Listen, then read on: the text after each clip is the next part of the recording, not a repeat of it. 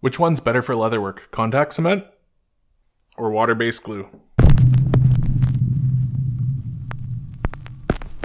Hey guys, what's up? I've been working with contact cement for a while now, actually since I've started leatherworking. It's easy to use, and I can go to that big orange store and buy a can in minutes. So look, this stuff's bad for you. It has solvents in it, which are what allow you to be able to use it. If it didn't have them, it wouldn't work. And these solvents are what makes it bad for you. Essentially, once they've evaporated, then this is pretty harmless stuff. It's just kind of like a rubber that's now attached to your leather. It's fine. So if you don't inhale the fumes and keep it off your skin, don't light it on fire, it's probably totally safe to use. And contact cement forms a really strong, flexible bond, which makes it pretty good for leathercraft. It's actually served me pretty well. So why bother trying the other stuff? Why don't I just stick with contact cement and be safe about it? So when contact cement dries, it's a strong hold and stretchy, and it's pretty good for standing up to, you know, wallets, flexing and stuff like that.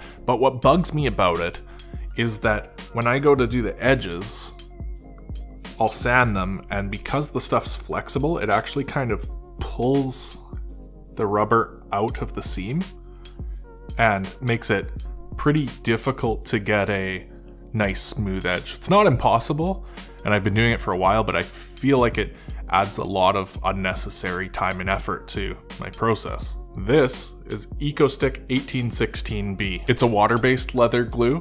It's non-toxic and it does not stink up my basement. It does say on the bottle not to eat it, but that's probably good advice for any glue. Honestly, I knew I loved this stuff from the first time I used it. Kind of reminds me of that Elmer's glue that you used to glue on glitter in elementary school, and it doesn't smell like it's gonna give me cancer. And it's way easier to spread on in a thin coat. I like to use this little trowel thing that I had in my house for puttying holes in the wall. I have found that it takes just a little bit longer to dry than contact cement does, but it seems to hold just as well. The best part though for me is that it eliminated that problem of the contact cement seeping out of the edges. It's just made it a lot easier to get a nice edge when I'm burnishing. I really don't know why it took me so long to try a water-based glue, but at this point I'm fully converted. I'm sure that this stuff does still have its place somewhere, but just for the ease of burnishing the edges, I'm all about the water-based glue now. I'll link this glue as well as a couple other popular ones down below in the description. I think there's only three. I think there's